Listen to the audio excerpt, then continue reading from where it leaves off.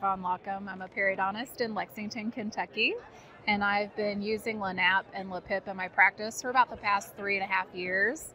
And I've seen a beautiful transformation in terms of my ability to care for patients with periodontitis and peri-implant disease. In terms of patient satisfaction, patient outcomes, I'm getting better results than traditional osseous resective surgery, all the while having happier, less sensitive patients after surgery.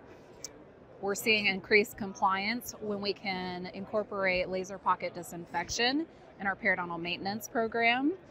And I can wholeheartedly approve the LANAP protocol.